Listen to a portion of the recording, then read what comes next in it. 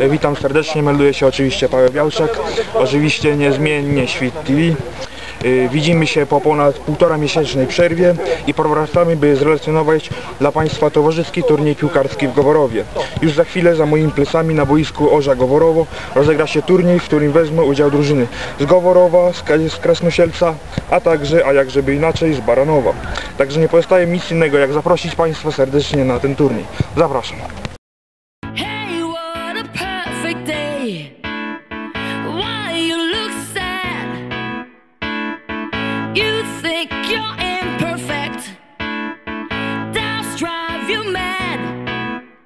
You've lost your.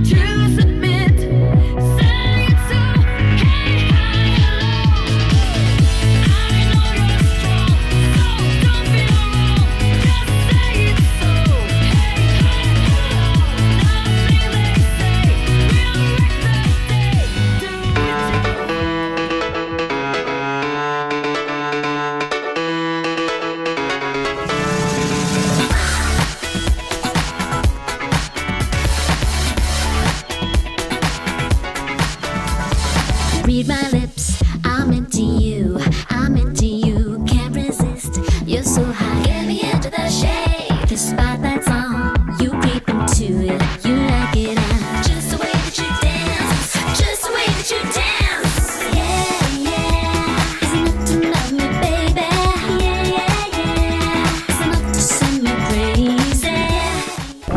No dziękuję bardzo. Proszę Państwa, mam przyjemność i zaszczyt ogłosić wyniki dzisiejszych rozgrywek. E, w kategorii, w kategorii juniorzy Noworowo ma 4 punkty, 4 do 1, tak? Krętosiec 3 do 3, Baranowo 1 do 4. Brawo dla Baranowa.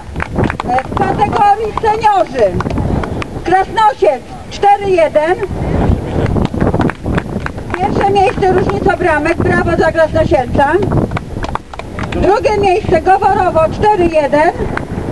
Czyli remis, może różnica bramek. Baranowo 0-0. Też brawo. Dziękujemy, że przyjechali.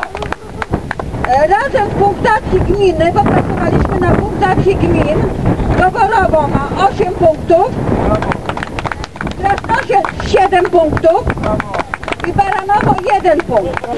Trzecie miejsce, to pozwolę ja sobie wobec tego wręczyć.